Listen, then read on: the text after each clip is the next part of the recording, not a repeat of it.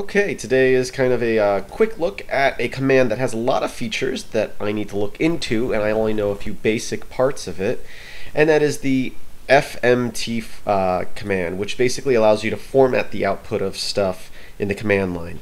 So let's quickly create a text file to work with.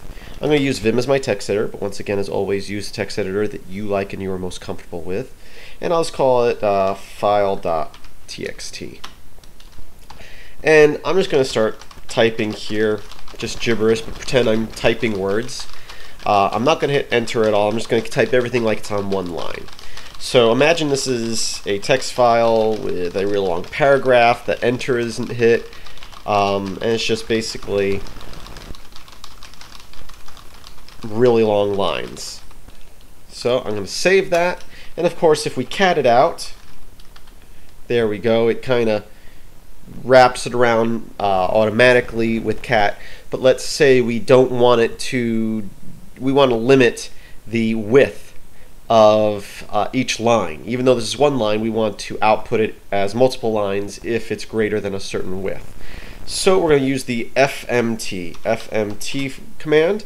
We're going to say dash W for width, and we'll start off with 50, so 50 characters long and then we'll just tell it what file we want to do it with. So we'll say file.txt, we'll hit enter, and there you can see the same file, but it's uh, uh, more appropriately formatted. Words aren't getting cut off as they're looped around, because as you can see, it's like a word can start off here and then end up down here, and um, uh, FMT doesn't do that. It will wrap it around uh, at spaces, uh, at least using the command that we're using currently. Uh, and you know, we can change that to any number. We can change it to 25 and have a nice thin column. Now, you will notice that if a word is longer, because right here we have a word that's longer than 25 characters, it does not break up that word, and that word will still be on a line by itself longer than the width we set. But in reality, most of the time when you use this, you are going to set to a width that's comfortable reading with, and words usually aren't going to be that long. So normally something like 50 would probably be a good width, this right here. And very rarely are you going to find any single words that are 50 characters long. Uh, now, once again, this is just affecting how the file is outputted. The file itself has not been modified, so if we uh, you know, vim back into our file, or whatever text editor you use, you can see that the file has not been edited in any way.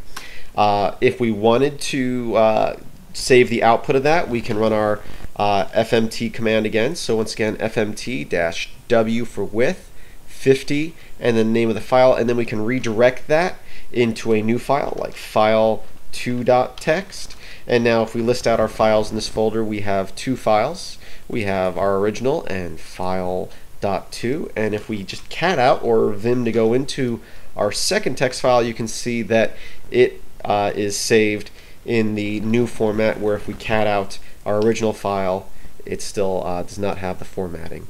So once again, uh, FMT has a lot of features. I think I've used it once or twice in tutorials in the past. It's used mainly for formatting, uh, making stuff uh, more readable. I think the name has to do with something with making stuff human readable. So formatting something text, man text, I don't know. Um, but it is used to basically formats make things easier to read. And um, I know it has a lot more features than what I've gone over, and I hope to go over some of them in the future. But for right now, this is a quick little tip on using uh, FMT to format the width of the output of a file. So I thank you for watching. Please visit filmsbykris.com. That's Kris with the K. There's links in the description to uh, the, the post on this video. It's also a good place to comment and also search through my videos. My newer videos are all uh, in categorized and tagged at my WordPress site, which you can find in the description of this video. It's filmsbykris.com forward slash WordPress. It's all lowercase.